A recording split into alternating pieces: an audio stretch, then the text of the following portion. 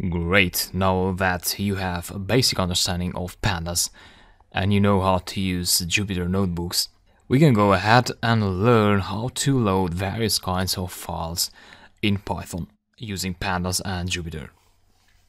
So I've got uh, five files here. They contain exactly the same uh, dataset and this is a text version or let me open the Excel version that uh, will show a pretty overview of the data as you can see. So we've got um, seven lines of code including the header and we have also seven columns. So it's just some basic data uh, of supermarkets, uh, so uh, the address, city, state, country and the name of the supermarket and number of employees. And similarly, we have exactly the same data, but in different formats. So we have CSV, and CSV means comma separated values. So it's basically uh, a text file where the values, the columns are separated by commas, as you can see here. So every column is separated by comma, but it has a CSV extension, and it can be opened with Excel. So if I open this now, you'll see the same dataset that you saw in the XLS file. We also have the same data in uh, separated by semicolons, as you can see in here. And yeah, uh, if you're working with data, uh, you're probably familiar with these kinds of files. So this is how to store data. You need to have some conventions and using such convention then you use other programs such as Python to load these data. So uh, when you load a CSV file, Python knows that the values will be separated by commas and it knows how to separate them. Uh, it knows how to extract values. So we'll open all these one by one. We also have a JSON file which is yet another format to store data and looks like a Python dictionary actually so we'll learn how to convert them to a pandas data frame as well. So all these will be converted to pandas, pandas data frames. And yeah, I'll go ahead and start Jupyter. Jupyter notebook. Here are my files. I'll go ahead and create a new Jupyter notebook for Python 3.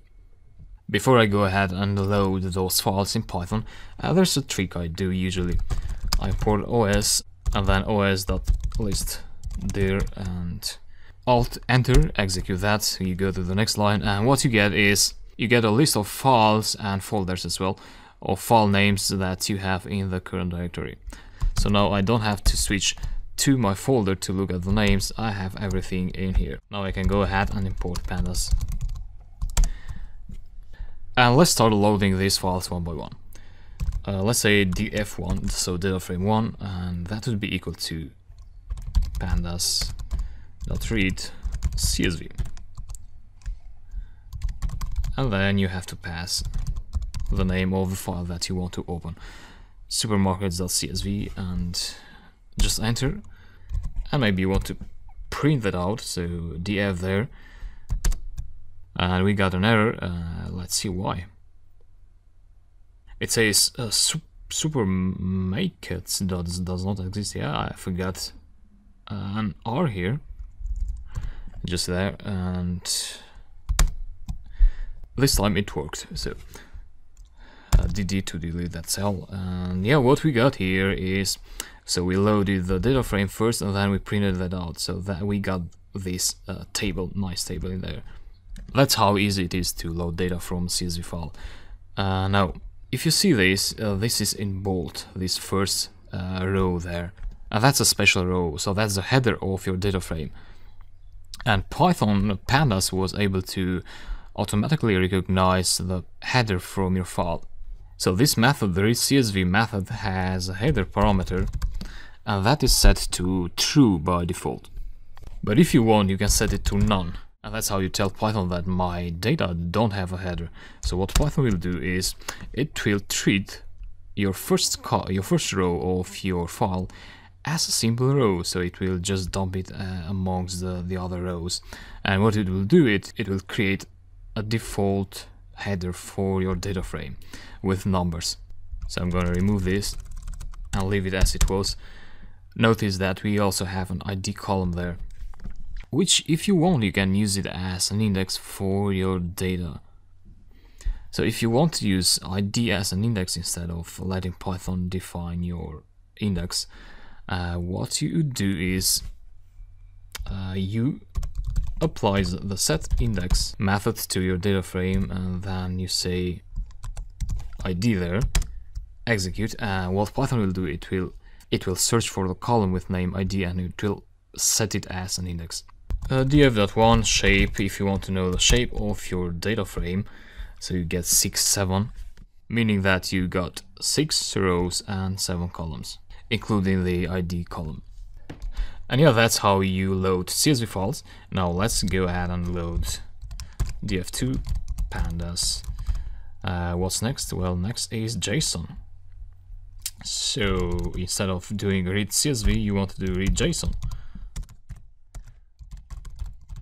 And then you just pass the name of your JSON file, uh, including the extension, of course. I executed that, I forgot to print it out. Uh, so this is a JSON file and similarly if you want you can set the index to ID and execute again and ID is set as an index. Now you can also notice that the order of the columns is not the same as the previous uh, CSV file that we opened, which is not a problem. Every column has its own name, its own identity, so having columns without an order is not a problem. And let's go ahead and load the XLS file, XLSX actually, um, an Excel file. So pandas read Excel and you pass the name of the Excel file and normally you should also pass another parameter here for Excel files because you know Excel files might have multiple sheets inside them so you want to specify the sheet name, uh, which starts from zero, so you need to pass the index actually. If you want the first sheet, uh, you want to pass 0. If you want the second sheet, you want to pass 1 and so on. So I'll pass 0 there. I had only one sheet in the Excel file. df3 execute. And yeah, uh, we were able to successfully read the Excel file as well. Uh, yeah, let's move on with the txt file. So it's a supermarkets uh, separated by commas. So it's a data structure separated by commas. Mm, for that, so for txt file separated by commas, again you use read CSV.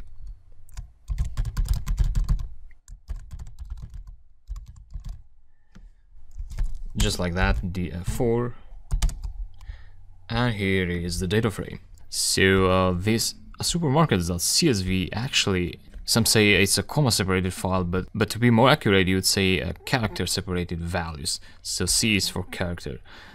And yeah, there might be different characters there. In this case, when you have commas as separators, you don't have to pass any separator parameter here. But when you have other values as separators, you will have to pass that. Uh, that is the next scenario. So uh, df5 pandas.read csv. Uh, so we're talking about uh, supermarkets semicolons. Oh, supermarkets semicolons dot txt. And yeah, let me try this as it is now. So if I execute that, Python will not be able to recognize the semicolon there. The reason to that is because the separator parameter has a value of comma by default. So you want to change that to your separator, which is a semicolon in this case. Execute. We got an error there, unexpected keyword argument separator. So it seems like um, read underscore CSV doesn't have a separated separator parameter. In that case, you want to do to help ask for help. Uh, so and yeah here is the parameters that you want to pass so it's actually a sep and you can see that the default value of sep is a comma So close that and go here, change that to sep, execute, and here is the data frame. Great, what's left to do? Uh, yeah, uh, we consumed everything. And that's about reading uh, local files. Now, Pandas also allows you to read online files directly from the web. For instance, um, here we have uh, we have a CSV file in this website. So I browsed to, to that and then it was downloaded. And if you want, you can go ahead and, and put that in your Jupyter folder and then open it as we did. Or you can grab this URL, go here, say df6 read csv, and then pass the URL just there. df6 to print that out, and boom, here is the file. So it's the same, exactly the same CSV file that we opened earlier up, but we were able to get it from the web. And yeah, similarly, you can get other files as well, JSON. You can pass it as URL.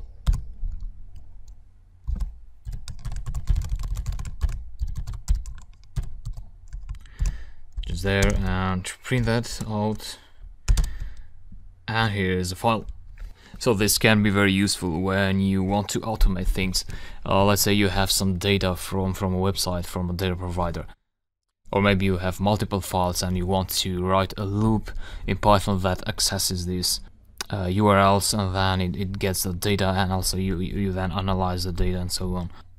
So yeah, that's about loading data in Python via pandas and using Jupyter. So I believe you find this very easy. And yeah, we'll move on and do some data analysis in the next lectures. So I'll see you there.